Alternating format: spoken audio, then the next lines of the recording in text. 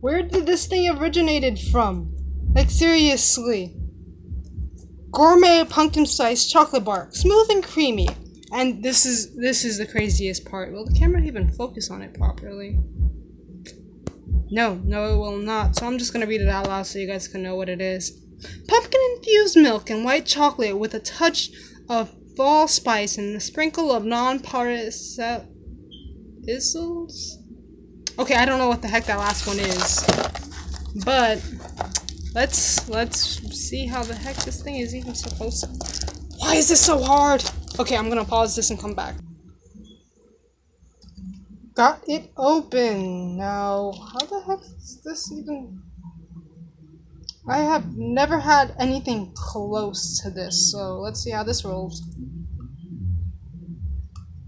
Ah! Yo, these things are frozen.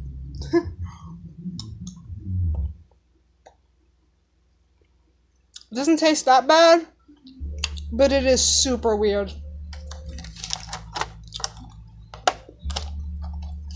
It does taste familiar to a weird extent. But I can't pin it down. I'll let you guys know some other time. But for now, peace.